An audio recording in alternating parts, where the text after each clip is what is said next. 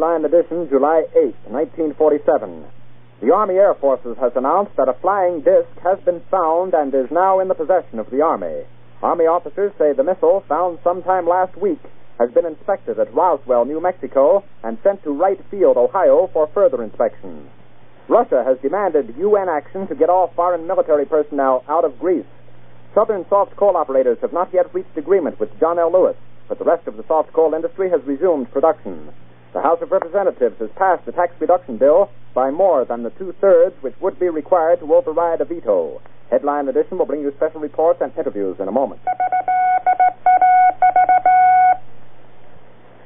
The American Broadcasting Company and affiliated stations present Headline Edition with Taylor Grant. From all over the world, wherever the day's headlines are made, Headline Edition brings you accurate, timely reports on the news behind those headlines, plus informative in-person interviews with the men and women who made the headlines today.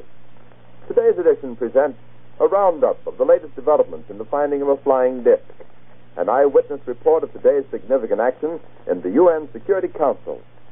Ohio Congressman Thomas A. Jenkins commenting on today's House action on tax legislation. A special report on the status of soft coal negotiations. And the details of today's All-Star baseball game reported from Chicago. Stay in step with history in the making. Stay tuned to Headline Edition. And now, here's Taylor Grant.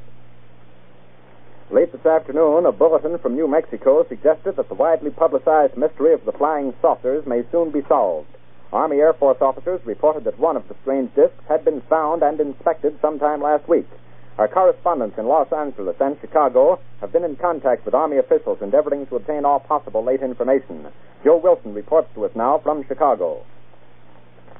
The Army may be getting to the bottom of all this talk about the so called flying saucer.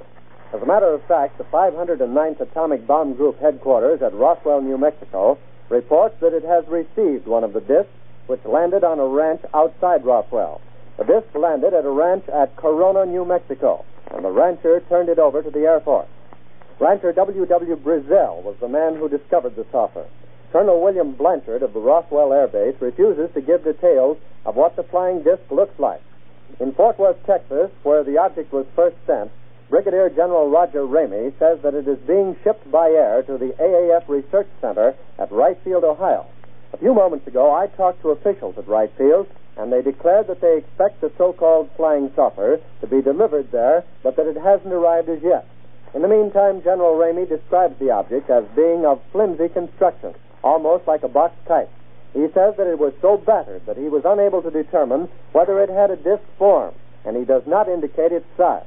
Ramey says that so far as can be determined, no one saw the object in the air, and he describes it as being made of some sort of tinfoil. Other Army officials say that further information indicates that the object had a diameter of about 20 to 25 feet, and that nothing in the apparent construction indicated any capacity for speed, and that there was no evidence of a power plant. The disc also appeared too flimsy to carry a man. Now, back to Taylor Grant in New York. There was important activity within the UN Security Council today.